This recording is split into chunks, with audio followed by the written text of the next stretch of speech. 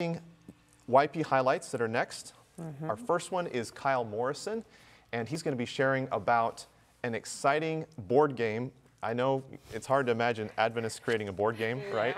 but you're going to hear about this Go Ye board game in just a minute. And then Dr. Bowtie Brian, mm-hmm. who is going to share from his experiences as well as a young professional. And uh, we're going to enjoy hearing from these two. Again, as you're listening, feel free to comment, let us know, and we'll be back in just a minute with more. Hey guys, well, welcome to another YP highlight. And I'm really excited about this one because we are taking you all the way down to the beautiful land down under with my friend Kyle Morrison. Good day, man. Hey, Kyle. Hey, buddy. How are you? Good to see you, man. And uh, uh, great name, by the way. Thank you. You too. I'm a big fan. I think our mothers were thinking the same thing. Um, mm-hmm. But uh, anyway, hey, man, it's it's great to uh, great to have you back on. Well, great to have you for the first time, I guess. Good to see you. It's been a while.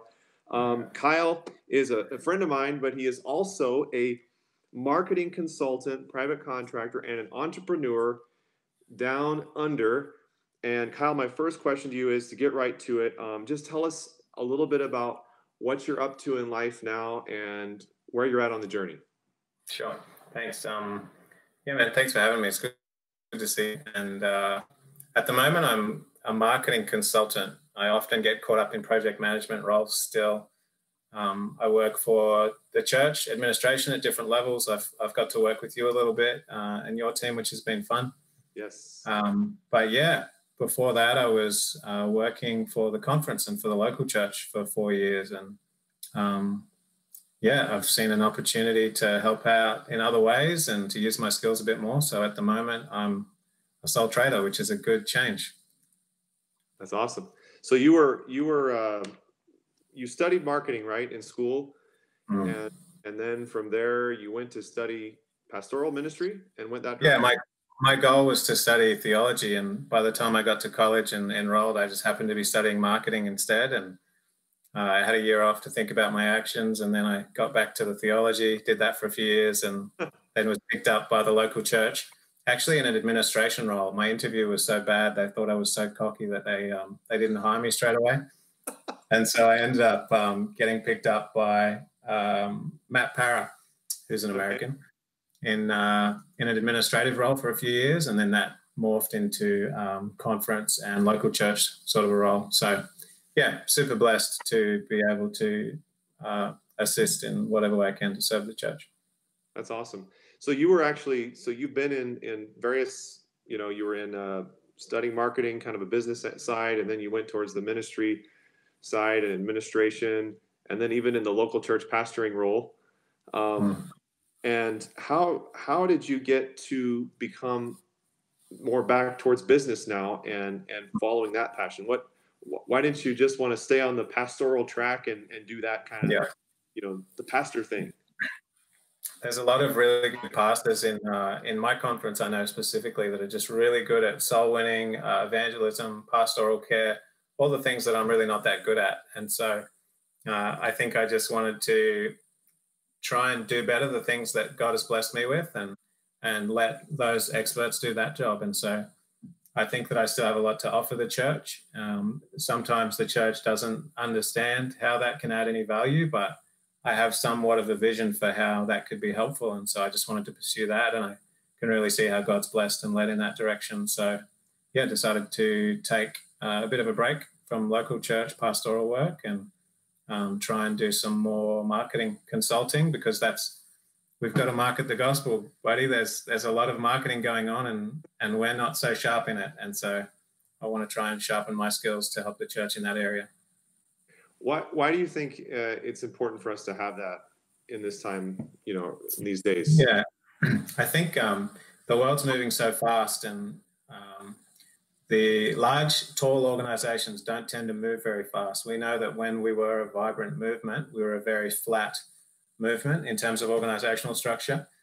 And um, I don't think it's anyone's fault specifically. I think we just organizations grow over time, and um, we're not as quick and responsive as we used to be. Often we're 10 years behind technology and trends and topics.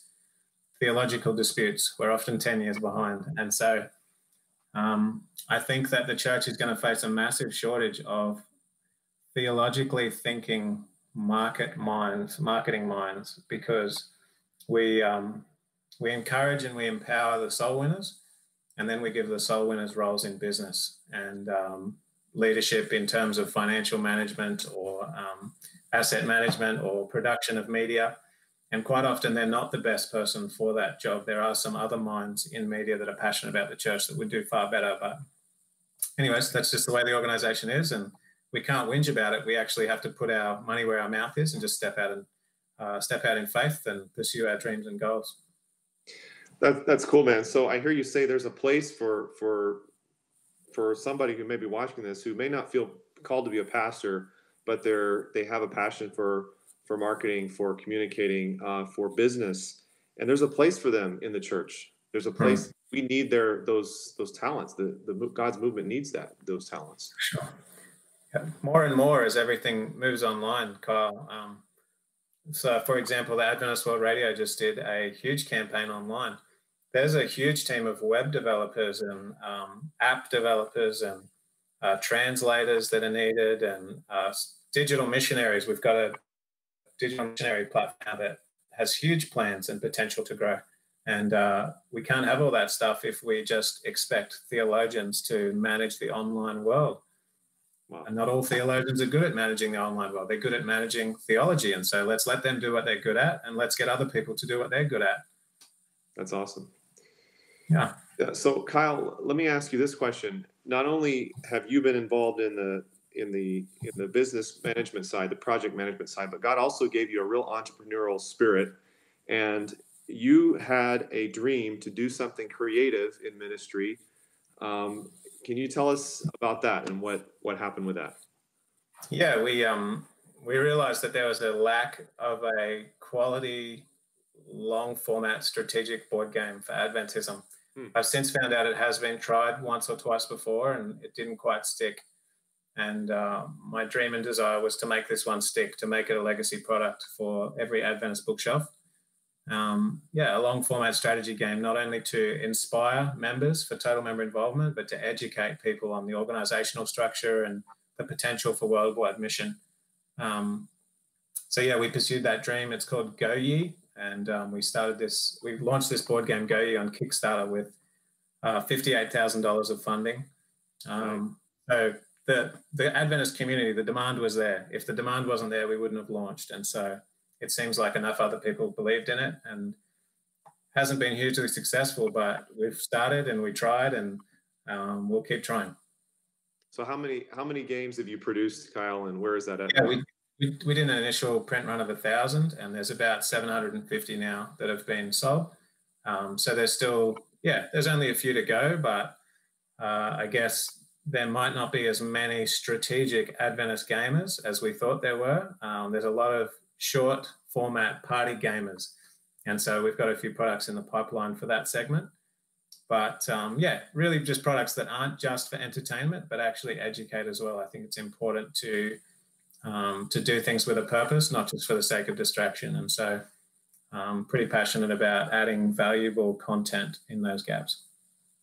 If someone wants to find out more, Kyle, about Go Ye um, and how they can get one, I know I can tell you mm-hmm. guys, I have two of them actually and I've actually played the creator of the game himself, mm-hmm. Kyle Morrison. It was, a good effort. Yeah, uh, it was a good effort. I won't tell you how the score ended up, uh, but um, you, uh, but anyway, um, where do they go, Kyle, to find out more about the game? Yeah, the website is goye.games, and um, you'll actually have to go to goye.games even if you already own a board game because the uh, instructions aren't as complete in the box as what you might need to get your head around it. But at goye.games, you'll get redirected to AdventSource in the States or some local ABCs in Australia, New Zealand. Um, so that's where you'd go to find out more. And yeah. Sounds good. Sounds good. So, Kyle, um, just one final question for you. As you've gone through, um, you know, your journey and you've kind of been around some twists and turns and you've you've had your you know these ideas and these passions like starting the board game um, you know we talked about digital evangelism the things you're involved in now what would you say to someone who's watching today who, you know, maybe God has given them, you know, a passion or an idea to pursue, and it's not, it doesn't fit the the cookie cutter. It's not, it's an out of the box idea, like you know, like your board game was. Um, what would you say to that person? What encouragement would you give them today? Yeah, I think uh, ultimately the the big things that make a different difference in this world uh, come from people who just keep trying, keep trying, keep trying. Like uh, this, it's very easy to give up and just to stop and think that something's too hard, or to sit around and wait for the church to ring you up and say, "Hey, we love you and what you do. Here's sixty thousand dollars. We want you to do it full time." That just doesn't often happen. The church uh, tends to employ or to spend money, invest money traditionally and conservatively for very good reason. I think it's up for up to the creatives uh, like myself and the entrepreneurs just to go out and make it happen. And we've seen time and time again the people who have the determination to make it happen, those who help themselves, God can then help. And uh, for those that do just get out there and make something work and get some runs on the board, if the church sees value in it, they'll get involved. If they think you're doing a better job on your own, they'll leave you to it. Um, ultimately, we're responsible to God for doing what He's called us to do. And we can't just sit around waiting for the church to fund our dreams and aspirations. Um, we just, we've got to get it done and we'll grow and we'll learn in that process and uh, hopefully grow the kingdom as well. That's awesome. Well, Kyle, um, thank you so much for joining us today. It's been great to see you. Yes, man.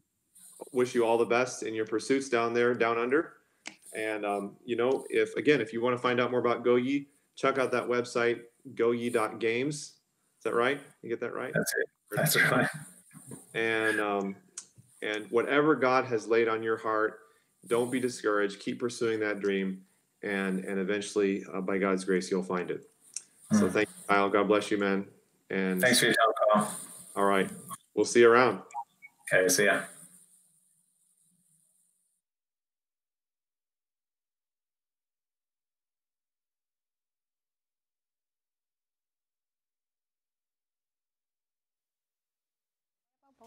All right. Wow, that was incredible. We're live? Okay. yeah. hey, welcome back, everybody. That was awesome. Um, I mean, Kyle's uh, ingenuity in creating that board game was really incredible. I mean, and I know we didn't get a chance to hear about all of it there on that interview. Um, and to be honest, that was very late at night, so if I seemed tired, I was. But, um, you know, but the, the, the, the idea of just taking an idea and starting something, mm -hmm. and you notice that Kyle actually put into practice the principle that Seth was talking about, mm -hmm. which is, you know, he didn't get in debt. He actually went to Kickstarter, mm. raised mm-hmm. $58,000, and that's how they produced their board games. Wow. He didn't, hmm. you know, he didn't just go asking, you know, he was getting people to invest in it, and, and it worked. And, you know, he may take that and learn from it and go do something else later, mm -hmm. but the idea of just starting something, yeah.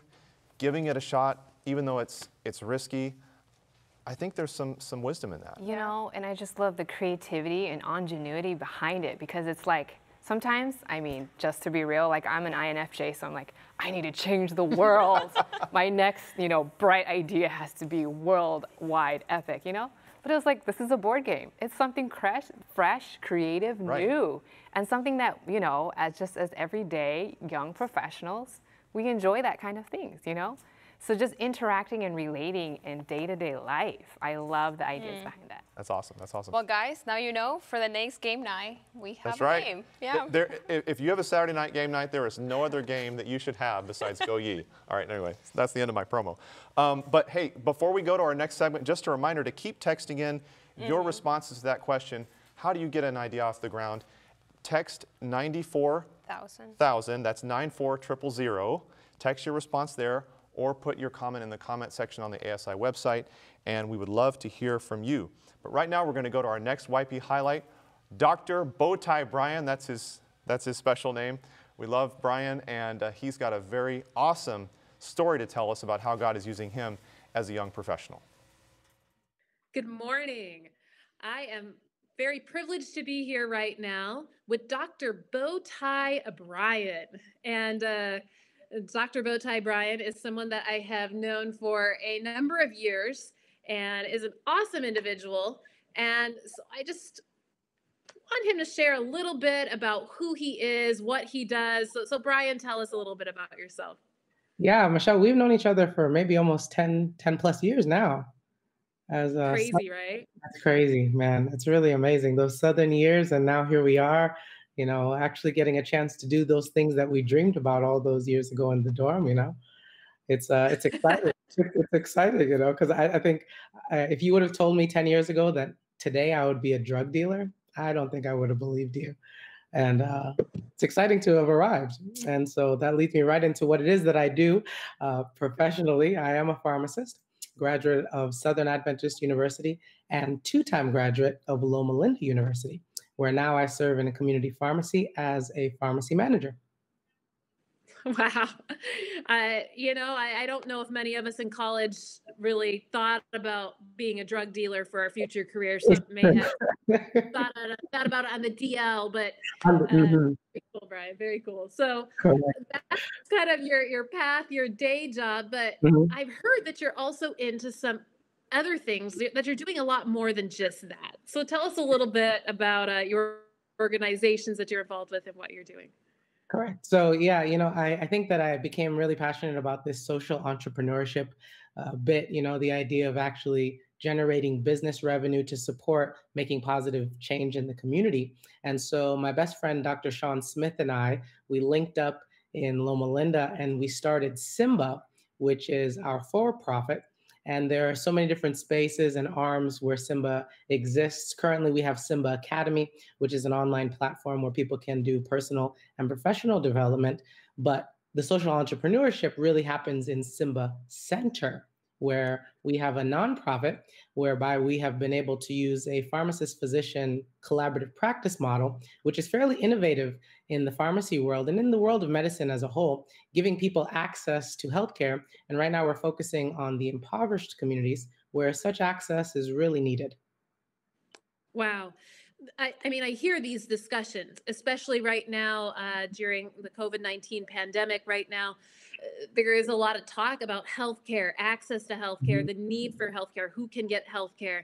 Um, so, so tell me a little bit more. How, how are you doing this? How are you able to to make a difference? Yeah, well, I am the CEO of Symba, and Dr. Sean Smith is the executive director for Symba Center. And as a professor at Western University here in Southern California, during his interview, he pitched this vision that he and I have had, and he really laid it out on the table. We are passionate about seeing people better, not only physically, but also socially, mentally, emotionally, and quite frankly, spiritually. And so Symba Center was granted him as his clinical practice site. And the two of us, me being a community pharmacist in, in that space and him being a professor with access to students and all types of other resources, have really given it um, our best shot. And the Lord has opened up so many doors. Uh, starting last year in August, we started our LLC we during this covid season found ourselves as one of the major partners in the city to help with triaging and so far to date we have gotten over $70000 in grant money which is all going to be funneled into investing in the community and meeting those needs wow so this is all this is all new yeah just in this this short time frame you have gone from from just starting up a business to being a, a major player and con- community contributor during mm-hmm. this.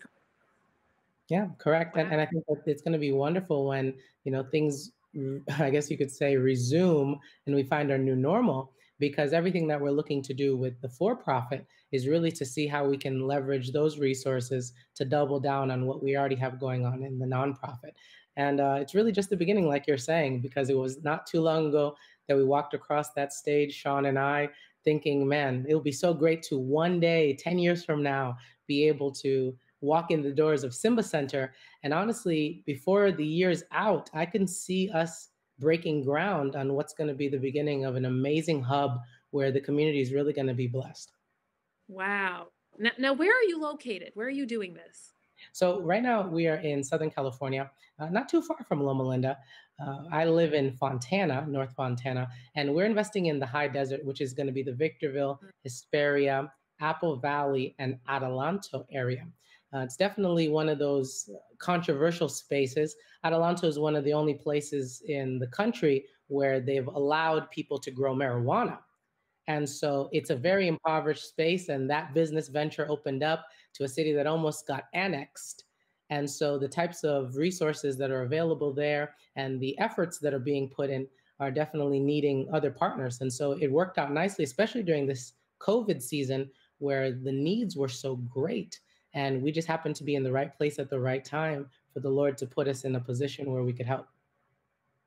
Now, is this what you you wanted to do? Did did you think, hey, I, I want to to finish my pharmacy school and and go to some small impoverished community and and set up there? Um, no, you know what ends up happening is you think maybe you'll get a job in some nice beach town in Southern California with beach house and and your loans will disappear, you know, because they'll be like, hey, we'll forgive them because you live by the beach. But no, that's not how it happens. You keep your loans and you get sent to no man's land. But it was really the biggest blessing because the truth of the matter is those needs are so much more complex than I even appreciated. Now, one of the things that Sean and I are often uh, really reminiscing about is when we started to appreciate that healthcare only contributes to 20% of someone's quality of life. The other 80% are these other socioeconomic factors. And so Loma Linda being a blue zone, for instance, is right across the highway from San Bernardino, which is the most unhealthy city in the country. And what you come to find is that these complex issues can really only be known when you spend time in them.